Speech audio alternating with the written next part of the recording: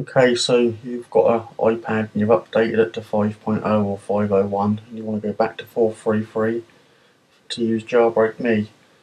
So what I suggest you do is uh, on the Mac is basically to first of all you want to go to a folder.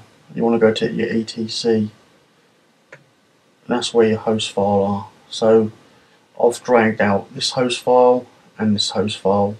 They're on my desktop now if we go into that you'll see you've got this one here. You want to completely delete that? I'm not going to do it on mine but you want to delete that file out and then have them back on here. Same again. Open with with this one because I don't normally have that. So open with get to do it. Then go to other. And you want to go down to your text editor and open up that. And you again you'll see that line in there. Delete that out. Completely delete that out. Save that. Now in here you've got your hosts and your umbrella hosts. Delete those, you might have to authenticate them, well you will have to. And these ones that you've you've got here, what I did is I just dragged them onto my desktop, that's how I got them there. So once once you've done them, altered them, you can then delete those two and put these ones back in there, authenticate them when you're done. So we've done that part. Now go to TinyUmbrella's website and we're going to download this file here.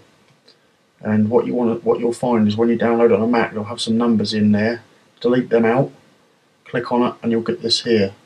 Now it's asking me to choose which firmware I want to do. So obviously you need to download the iPad um, 2 433 so we're going to open that up and it's now going to choose that current firmware and now we can see that there's your firmware there with the baseband and this is what it's going to make it into. It's going to make it with that baseband there.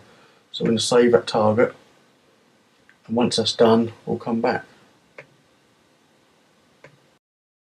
Okay, so it's made my made my firmware, which is here. You can see it's the restore one. Now what we need to do, then after we've done that, we need to go to TinyUmbrella. Before before you do this actually, you want to do a reboot that'd probably help a lot better. But um, once once we've done that, once we reboot and come back, go to advanced. If you've got anything else in here, untick them and just tick that one there. Set host to Cydia.